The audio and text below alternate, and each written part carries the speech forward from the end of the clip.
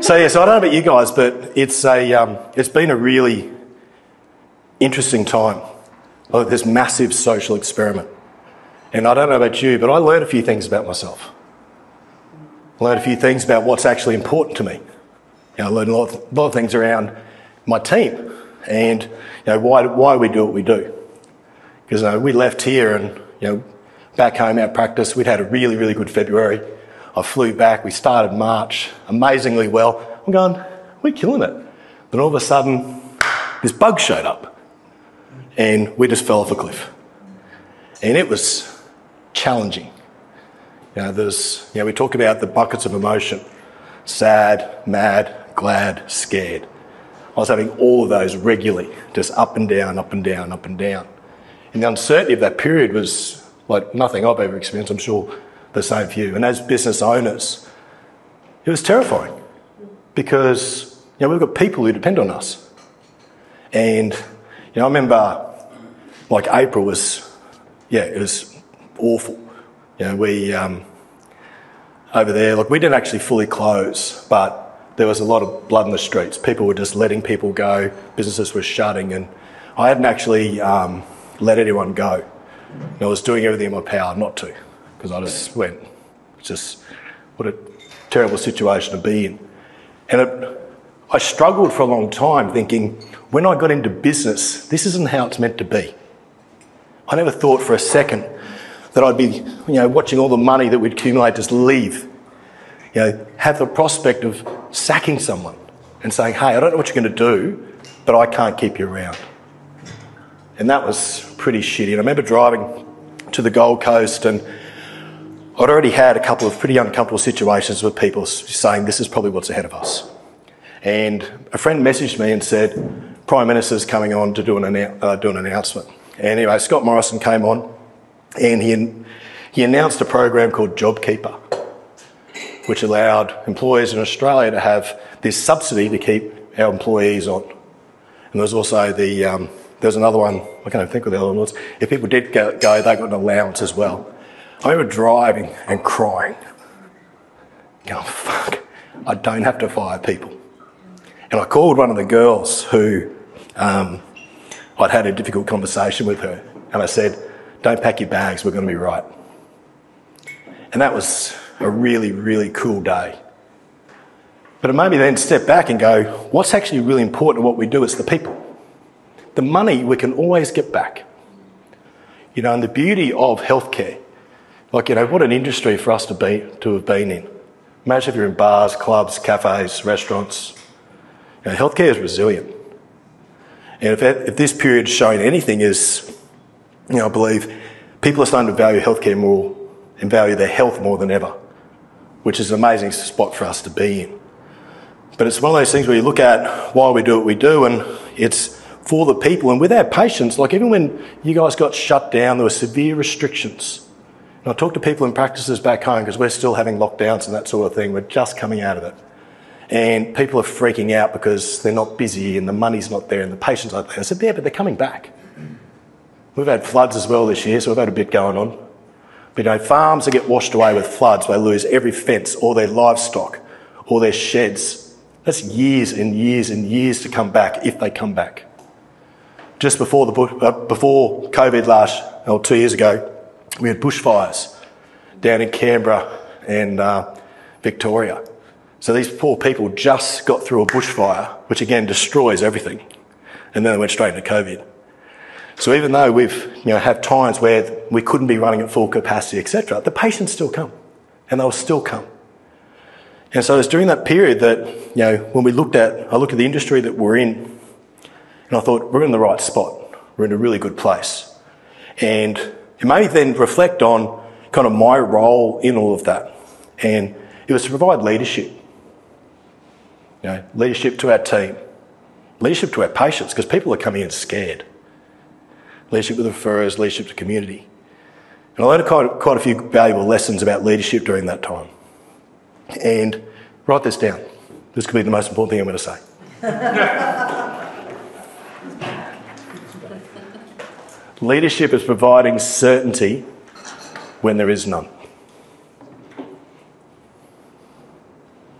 Leadership is providing certainty when there is none. And I heard that and went, wow, how cool. Now, it's pretty difficult to provide certainty when there's things outside our influence that can shut down businesses, right? That can take lives, etc. But I took that to mean we're going to provide a level of certainty to our teams. And my approach was, I don't know how, but we're going to find a way. I think is when we're in leadership, it's about showing resilience and we don't give up. And I was absolute on that. No matter what happens, we will find a way. Beg, borrow, steal, we'll get out of this. Because that was a really important thing. Another lesson I learned around leadership. This is important too. Write this one down too. Not as important as the first one, but it's up there. Leadership is about being visible.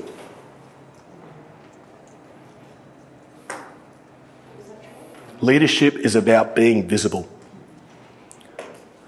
And my lesson around this was during those you know, challenging times in the first bit of COVID, you know, I had a lot of personal things going on as well, and I was trying to juggle everything, and so had the responsibility of my teams, then all my clients, and trying to pick everyone up and provide certainty and all this. But there were times where I just kind of, I fell in a little heap. You know, I remember it was one day, I was in a coaching week, it was a Tuesday, and I, I had a bunch of calls, and I was feeling fine. Then I got to about lunchtime, had a little break, and I just kind of lied down the couch, and I couldn't get up. I was out. I had to reschedule my calls, but my tank was kind of empty. And during that period, I realised that you just can't keep going. But also, too, when it comes to the leadership piece, is being able to show up when you need to show up. With my team, when things got a little bit tight, hard and you know, tiresome at times, I felt myself pull back a bit. And sometimes I wasn't at the practice as probably often as I probably should have been. And that had a really massive effect on everyone. And I've seen that with quite a few businesses that I've worked with, where leadership steps out of the business to focus on other things, and the kids are left at home by themselves. All they want is to know mum and dad are there and that they're safe. And again, it's through these things, like what, what were my lessons, what were my learnings? And Simon Sinek said it beautifully the other day. What did he say? I can't remember right now. He basically said, you know, your clients are people. Your employees and your team are people.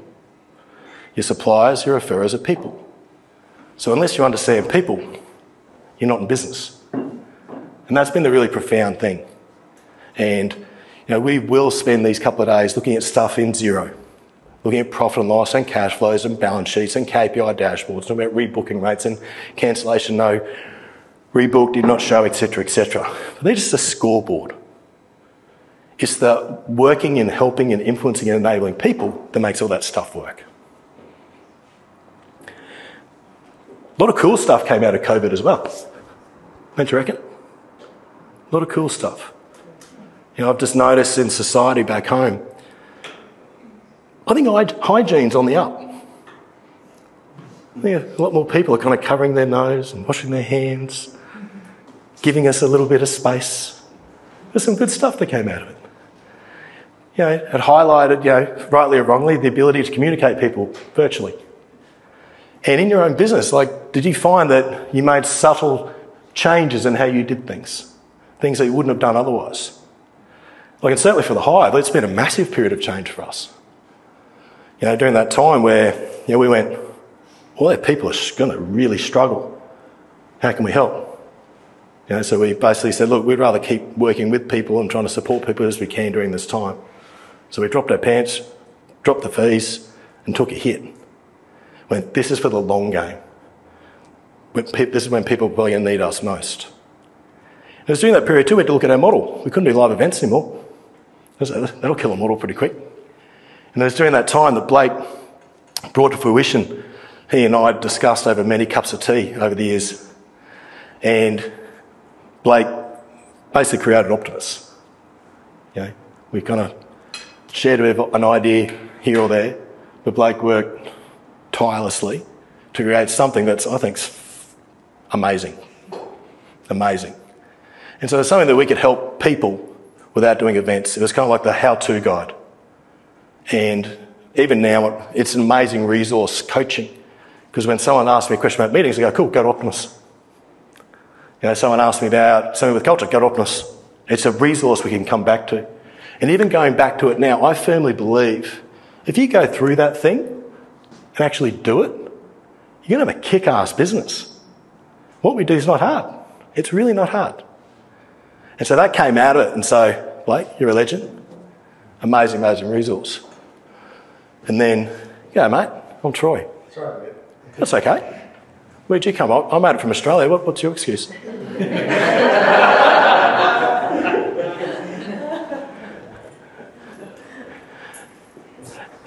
And it's in this time too, like Katie joined us, Amy joined us, and the Hive got a new feel about it. You know, some of the, some of the, you know, people who've come through Optimus have kind of jo- joined the group now. And so it's over these couple of days we want to, you know, this is your event. We've got a bit of an idea. We made some notes. We wrote some stuff out, the things that we want to, we'd like to cover. But also too, I'd like to, you know, uncover what, what would you like to achieve, or what was an outcome you'd like for these two days? You go, oh, that was really, that was worth my time. That was great. And so we're going to, we'll, we're going to come back to that. But just have a bit of a think about what do you want to take from this? Yeah? Because that's my outcome. To help you meet your outcome. So what I'd like you to do now is just take a couple of minutes the person next to you and just jot down a couple of notes. What did you learn over this hot minute that we've had since we saw each other last?